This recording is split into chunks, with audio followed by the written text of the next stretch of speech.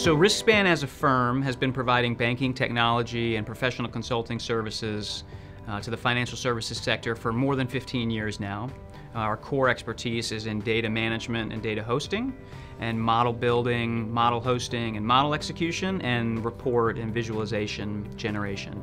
Um, and we've got a customer base that relies on our platform every single day and has for 15 years now for things like portfolio stress testing and valuation, uh, both at a loan level and at a pool level. And at the core of, of that exercise is a credit risk model and prepayment model that generates life of loan, life of asset, prepayment and credit risk projections under a variety of macroeconomic scenarios. So with CECL now, we, we're perfectly situated to take that expertise and lay it into a dedicated CECL application where again we bring on customer data, allow customers to select and execute models under a variety of macroeconomic scenarios and generate reports. So within the data intake step, users are able to onboard their historical performance data as well as their current portfolio snapshot data as of each reporting date. We also have a data library where we host from a variety of industry sources historical loan performance data covering a variety of loan types, so that's available uh, for benchmarking and proxy purposes. We do offer a segmentation feature within the module as well so that dynamically in platform users can define custom segmentations and evaluate the results of their allowance under those uh, segmentations.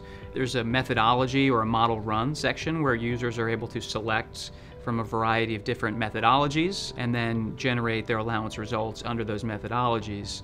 Within that methodology menu, there's a lot there. At one end of the spectrum, we offer all of the basic methodologies that folks would be familiar with, you know, things like vintage loss rate approach and snapshot loss rate approach. We also have, for a number of different asset classes, we have specialty models, both RiskSpan proprietary models. We have very well regarded residential mortgage model, for example. We also host uh, models from other premium vendors as well for things like C&I and commercial real estate and others. So there's a lot there to choose from methodologically.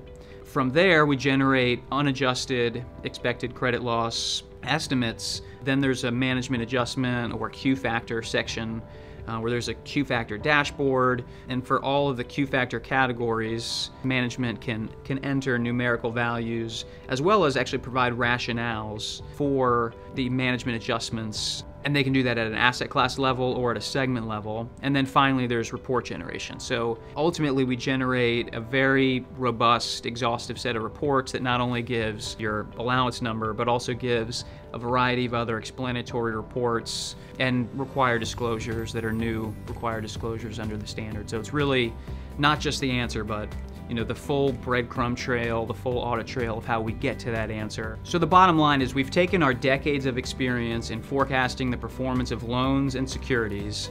We've laid that expertise into an intuitive and robust CECL application.